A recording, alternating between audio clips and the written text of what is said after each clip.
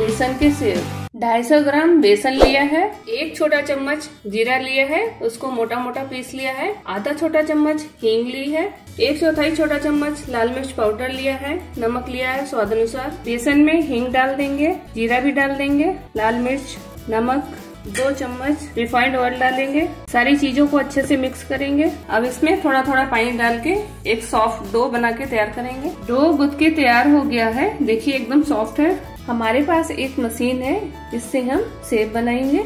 इसको अच्छे से हर तरफ़ से ग्रीस कर लेंगे। दो को मशीन में डालेंगे।